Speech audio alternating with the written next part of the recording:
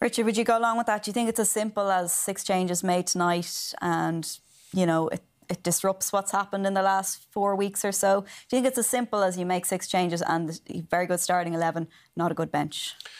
Yeah, he's he's made those changes. So the, the, the six players who didn't play tonight and the ones that come in, the ones that come in aren't in the first starting eleven because they can't do what he wants them to Did do on, on a weekend. Why they're not and in they the showed tonight, 11? and it's it's very difficult because you want to try and play a, a nice style of football, move the ball quickly, but Harry Maguire is painfully slow when he has the ball at his feet. He takes five, six touches every single time.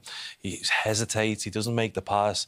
You're not going to improve that in Harry Maguire, I don't think. And so every time he plays, you can expect that style of play. Further up the field, you've got Ronaldo, who obviously is. You give him a chance in around the penalty area nine times out of ten.